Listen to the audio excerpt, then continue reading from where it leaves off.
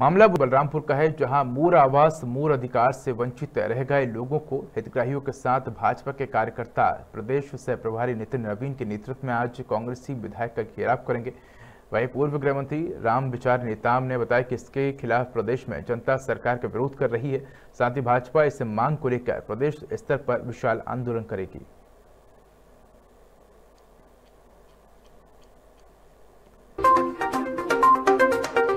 लेकिन भूपेश बघेल का सरकार आज तक आवास के नहीं देवते, पैसा के नहीं देवते। खा खा के कर विधायक मन, मंत्री मन बैठल है।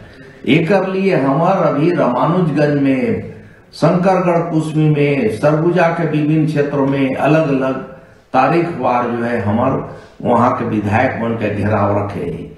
बाईस तारीख के रामानुजगंज के विधायक के घेराव करे है ओकर में अधिक से अधिक संख्या में आकर के एक कार्यक्रम के सफल बनाना है।